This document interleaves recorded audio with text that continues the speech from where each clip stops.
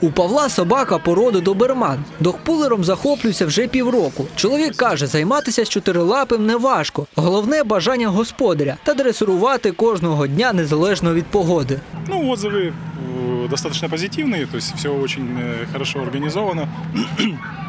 На достойном уровне очень хорошо э, сделано то, что две площадки, что одновременно работают сразу в двух дисциплинах собаки.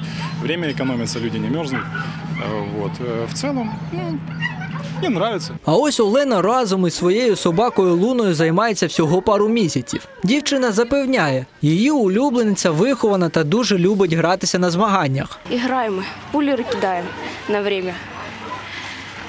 Соревнования, прыжки, бег.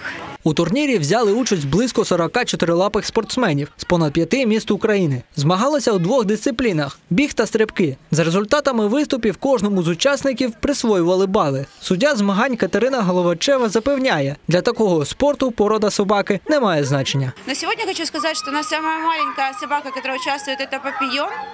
А самая большая – это среднеазиатская овчарка. Это собачий вид спорта, где есть две дисциплины – бег и прыжки.